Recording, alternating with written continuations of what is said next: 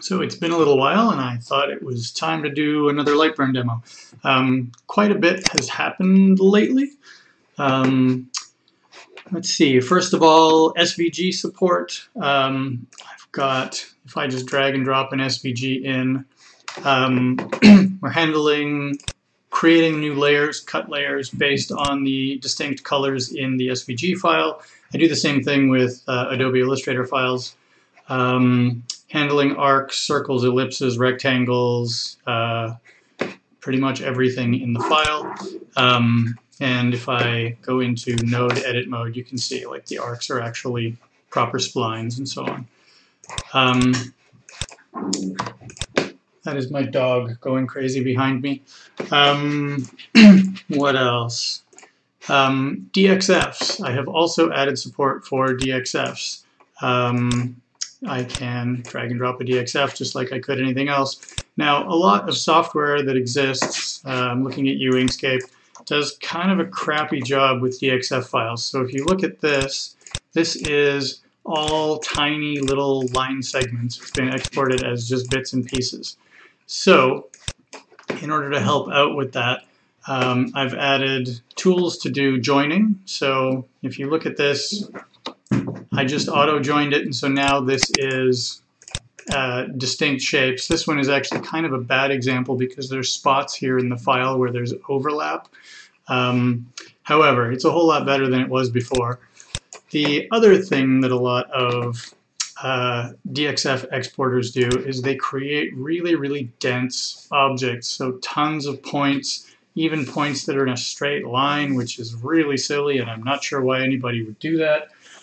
Um, however, LightBurn now has an optimize function. So you click the button and now you have recovered splines and recovered lines and generally speaking it just looks a whole lot better. Um, this also makes for a significantly smaller file. The original file with this density of points saves to about a megabyte and a half. Um, with this point density, it saves to just under 250K. So that's pretty significant. Um, it's also worth mentioning that LightBurn is kind of fast. Um, I have Aspire. I am a registered user. You can see my name up here. Um, if I take one of my uh, generated, let me find that file, um, here. So I have a file that I made with Halftoner, um, which you may have heard of. Um, this file is a kind of an iconic truck image that people use for uh, image engraving. Um, it's got a lot of circles in it, and you can see when I'm trying to zoom in or even just navigate around uh, Aspire, which is a $1,500 piece of software, is kind of choking. Um, dragging the view is going pretty pretty slow. Doing operations on this stuff takes quite a while. If I zoom in, it takes a really long time. Um, so notice that. Um, let me clear this file out. Um, also, pay attention to how long it takes. So I'm about to drop, and the import happens relatively quick, but then navigating is pretty slow. Compare that to LightBurn. So here's the same file in LightBurn. Drop. Um, I can zoom, move around, navigate, pan, um, select. Oh, I have to ungroup them. They come in grouped automatically. Um, move them around, so on and so on and so on.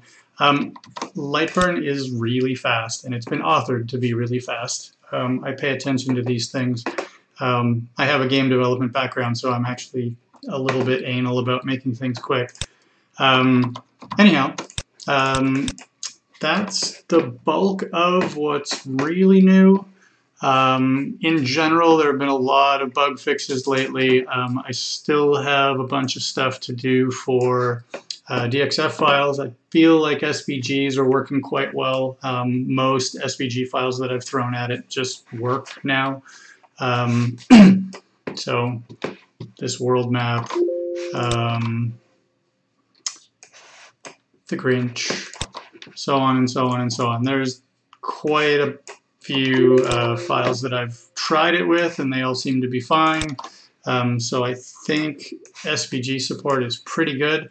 Um, I'm not dealing with a lot of what's in an SVG file because I don't support things like gradients and different stroke widths and fills and stuff like that. So it's easier for me to handle it than something like Inkscape. Um, but that said, I'm still doing a fairly decent job of it. Um, anything else? Don't think so. Uh, like I said, a bunch of bug fixes have happened recently. Um, just general uh, cleaning up. For example, if I quit when I restart, um, LightBurn remembers the position and size and layout of my window. That didn't happen before. Um, lots of small details like that that are um, more usability things than anything. I've changed a couple of the icons. I've moved a couple of things. So like preview is up here now, um, which makes a little more sense. Font is down here. It used to be up here.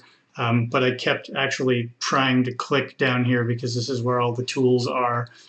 Um, so it's coming along. Progress is being made. I am hoping for a release um, probably middle of November.